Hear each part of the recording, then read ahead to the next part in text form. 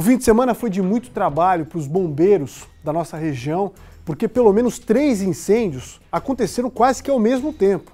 Um deles dentro de uma creche, outro, esse aí, dentro de um clube que também é um parque aquático.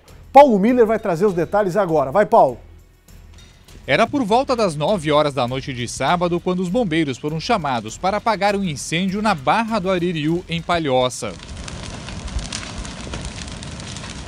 O fogo destruiu parte da estrutura de um clube de campo. Na área de 250 metros funcionava um salão de festas. Conforme os bombeiros, 8 mil litros de água foram usados para apagar as chamas. Ninguém se feriu.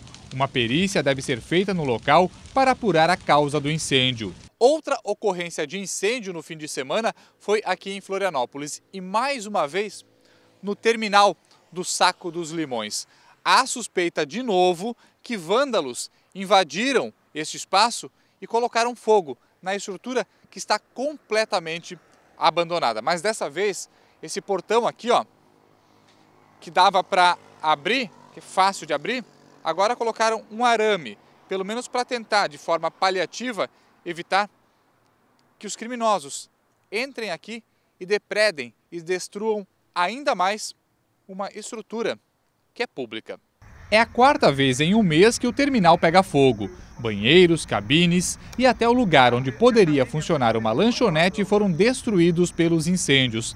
Há indícios de que as ações foram atos de vandalismo. Nem a creche em construção no maciço do Morro da Cruz escapou nesse fim de semana. Segundo a empreiteira responsável pela obra, passava das 10h30 da noite de domingo quando o vigia percebeu o fogo no galpão, onde durante a semana ficam os operários. As chamas que se espalharam rapidamente, até mesmo por causa da vegetação, destruíram ferramentas, geladeira, fogão, caixa da água e toda a estrutura onde ficava o escritório da empresa. Todos os documentos originais relacionados aos trabalhadores e à obra viraram cinzas. O prejuízo ainda está sendo calculado pela construtora, que suspeita de incêndio criminoso.